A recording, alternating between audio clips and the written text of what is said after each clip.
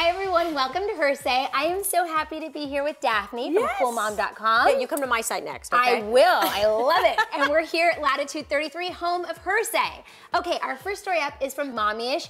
Diamond companies can take their push presents and shove them, is what this story is that saying. sounds painful. So, what do you think about this? I I have to say I'm pretty pro push present. I'm not necessarily pro diamond. That's a very political thing. Um, my husband gave me semi-precious and Manolo Blahniks, though. Well, there you go. You know what? You know what I really wanted?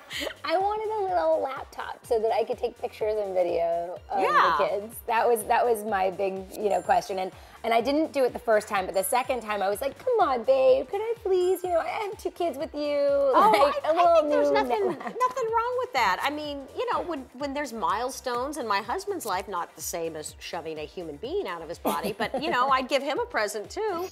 On She Knows, they talk about the stuff that women do that guys hate, which I bet we could have guessed some of these. There's obsessing over weight, gossiping, they don't get it, they don't get the gossiping, nagging, and silent treatment. Now, I have to say, I'd never do silent treatment. I'm, No. I'm pretty, you're probably like me, like, "Ba, ba, ba, I'll tell you why I'm mad at you. Right, well, right? yeah, I'm very straightforward, but it's really funny because the nagging, like literally last night, my husband was on his device, you Yeah. know, his technology, and I was Yeah. like, "Can you just stop?" Because I can hear the the keyboard. Did he stop? And, no, of course not. You know what I say about nagging? If you did what we said, we wouldn't have to.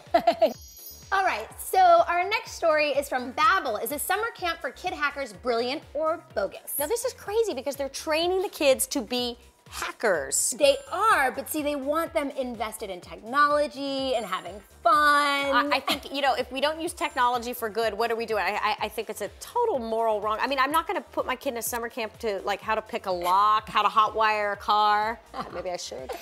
Now here's a test to see how permissive of a parent you would be. Uh, the Stir is talking about this kid who will potentially be the youngest person ever go into space. Part of that Richard Branson, you know, rich people can pay to go into space.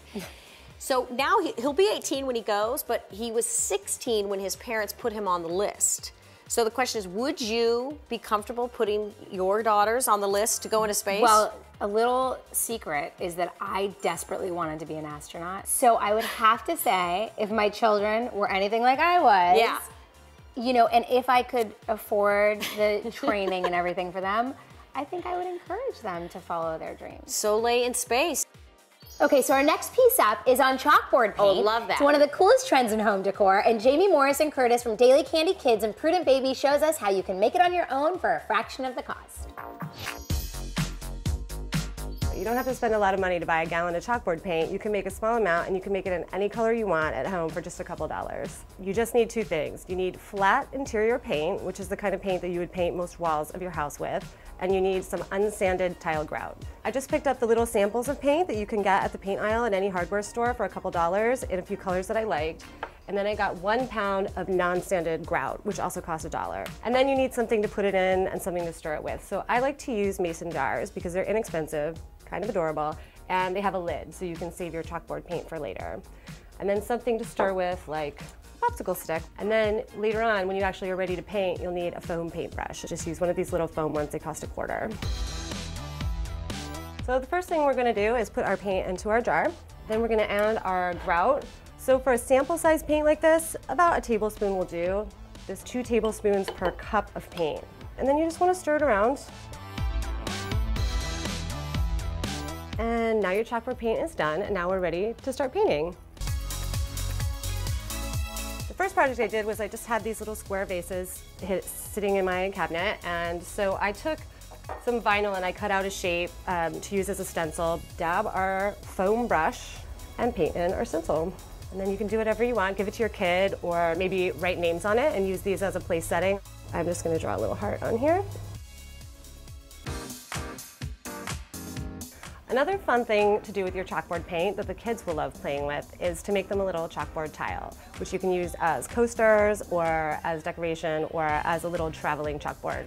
So I just grabbed an old piece of tile that I had laying around the house from a home improvement project and I'm going to paint it with my chalkboard paint. I cut out a piece of felt and glued it to the back so it would work as a coaster. And here's one I made earlier that's all dry that we've already started scribbling on. So that's how you make chalkboard paint. I hope you make it in a million different colors and have fun scribbling everywhere this summer. Okay, Okay, how much fun, right? Let's do it. Let's have a crafty party. Thank you so much for joining us at Her Say. Please come back every day and don't forget to sign up for our daily newsletter. You can also follow us on Twitter or like us on Facebook. Thank you so much, you guys. Bye. Bye.